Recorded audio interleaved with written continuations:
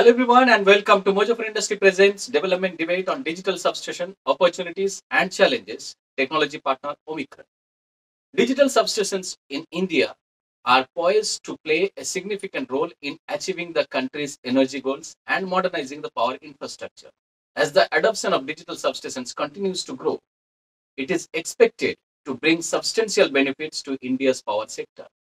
On this note, today we are joined by India's top subject matter experts to discuss on the opportunities and challenges for digital substation. So let's welcome Mr. Anand Shankar, who is the Chief General Manager for Information Security at, at Power Grid Corporation of India Limited. Then we have Mr. Anil Kumar Kadam, who is the Director for EcoStruxure and Cyber Security at Schneider Electric, and he is also the Chair for Smart Grid Division at uh, Indian Electrical and Electronics Manufacturer Association, that is IEEMA. Then uh, we have Mr. Jovin TP, who is the lead technical application engineer for Grid Automation India at GE Vernova. Mr. Manish Kumar Singh, who is the application specialist for power utility communication at Omicron. So, panelists, can you share your opening comments on the concept of digital substation? So, for almost uh, more than a decade now, uh, things have started uh, in terms of digitalization of various activities within the substation. A lot of the connected electricity uh, network, uh, which we are able to visualize and take planning uh, action uh, according to uh, our mutual convenience. Now, this is significantly more important because of increased number of players in the industry. So right. it requires a very important collaborative network. I think that's what the cornerstone is for a digital substation. Uh, so that is where uh, uh, I think the collaborative world in the world is a village. All substations, all power grid also has come very close knit uh, accordingly. Uh, Mr. Anil, sir, uh, what's your thoughts on the concept of digital substation? Now, digital substation is a different thought process altogether. How do you bring end-to-end digital within the substation, be it the switchyard or the control room? Also take advantage of the digitalization which is happening by and large beyond the power sector. So this is predominantly driven by, of course, uh, digitalization technologies, which is becoming very much proliferated. But also very important is the need for sustainability. you know, uh, need for doing more with less, need for more efficiency. Uh, if you look at a substation of 20 years back, and if you look at a substation of next five to 10 years back, there will be uh, there will be huge difference. Uh, Jovin, uh, how do you look at the concept of uh, digital substation? So initially, uh, uh, there were only part of digitalization where people used to do a conver- converting of analog to digital kind of a concept.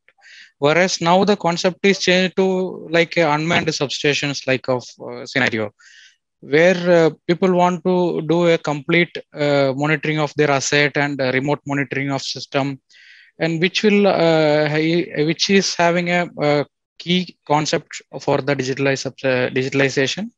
So it is enhancing the safety of the individual as well as the equipments. And also additionally we uh, uh, we have uh, now the iec uh, standards for cyber security which will again enhance the security of your um, assets.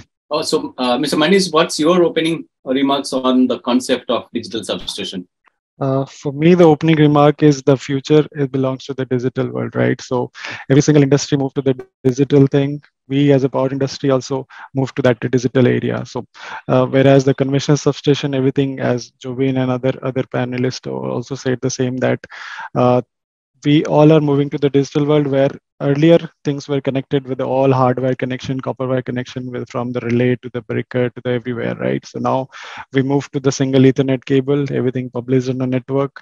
So yeah i could say uh, the the concept is very much uh, futuristic people started implementing it and in future definitely all the substation will move to that area digital substation.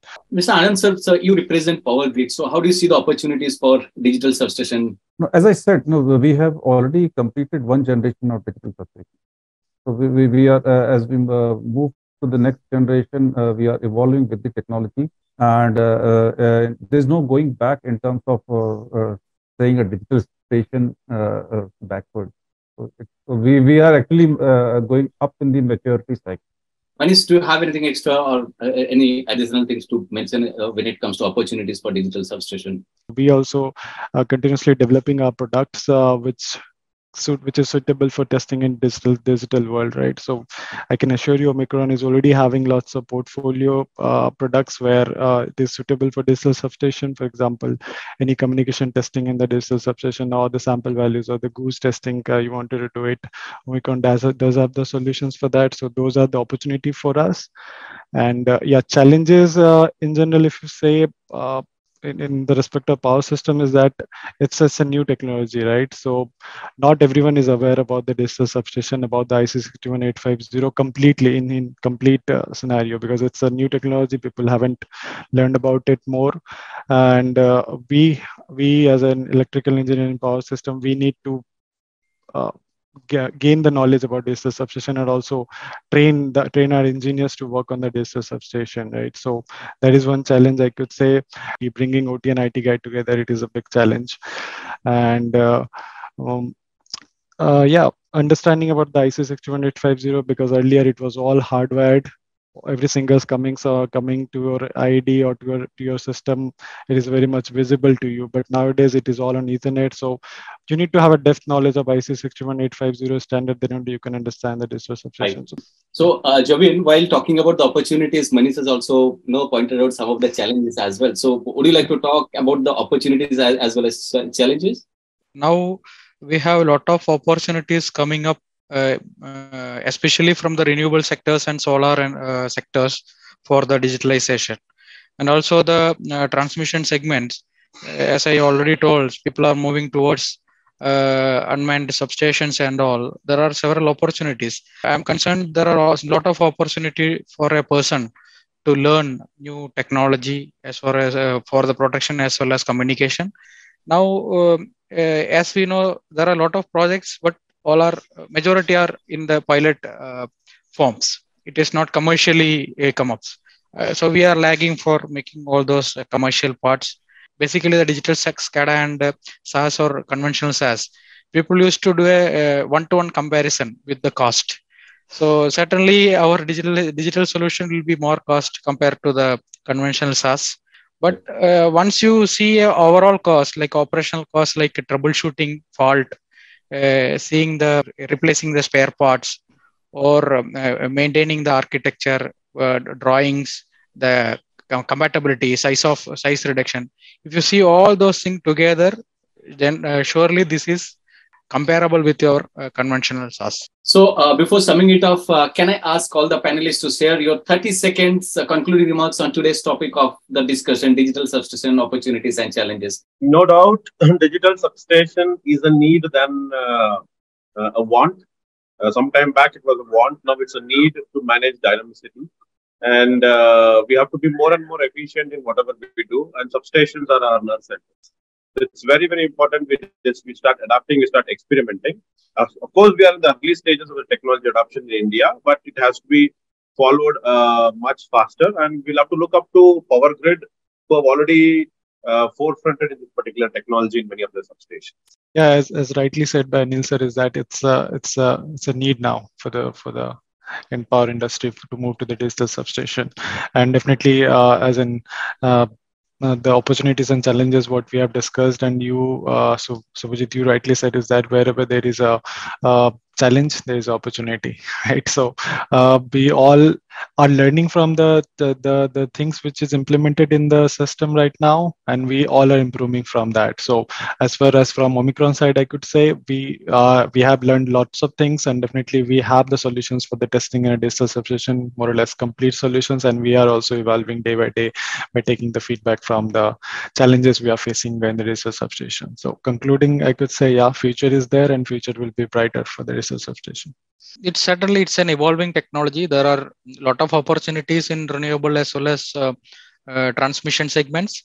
But the thing is um, uh, as as there is an opportunity there are a lot of challenges like how to adapt the new new technologies and how to uh, get the competency for doing those technology and doing the testing all these things whereas we have a lot of uh, advantages like uh, testing tools are available like omicron and other other uh, vendors having a lot of uh, testing tools and the testing and maintenance time can be drastically reduced compared to the conventional system uh, that's a great one uh, because uh, digital substations are there everywhere. Uh, we will definitely see more of process bus substations. Power Grid definitely has taken a lead in implementing process bus substations. And that's a new uh, evolution uh, which we will see more in the coming days. the challenge is definitely cybersecurity skill set, blended OT and IT both sides. that is something which we are looking forward to. So with that, we conclude today's session on digital substation opportunities and challenges. Technology partner Omicron. For more updates, please subscribe to our YouTube channel and press the bell icon.